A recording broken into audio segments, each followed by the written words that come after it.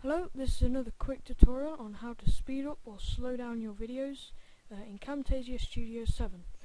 So what you want to do first is obviously if you want to put a intro, um, if you want to put an intro before it, um, then you may do so. It will not affect the intro if you click on the right thing.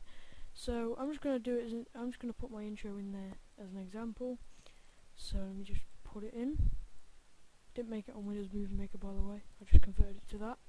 Um, so now what you want to do is you want to just import the thing that you want to speed up. So I'm just going to import. Uh, just going to import this.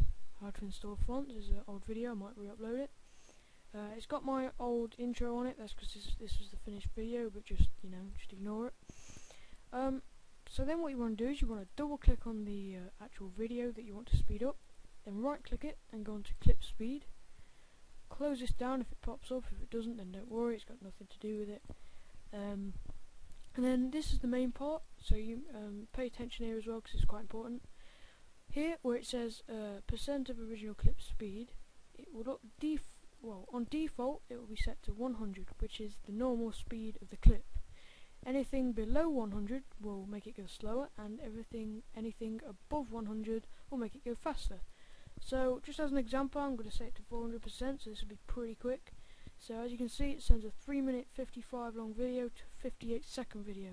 And if you want to, you can just uh, make the audio go silent, because, you know, if you've got audio on there, then this will sadly speed up the audio as well, so it sounds pretty much like a chipmunk, but you can't really understand what it's saying. So I'm just going to take that just for this, and press OK. As you can see, that dramatically uh, reduces that, because, you know, it's just been shortened.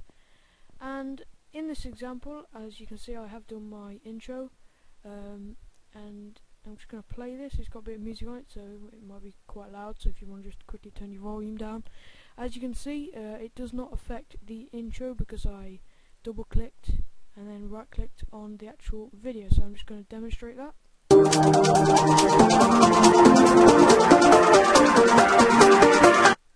as you can see it does not affect my intro and but then when you go into the uh, video itself then it does. As you can see look it is uh, sped up. Um, let me just whiz it on so something's actually happening. Um, so yeah it is sped up and this is how you do it. So uh, thanks for watching. Subscribe for more tutorials and uh, peace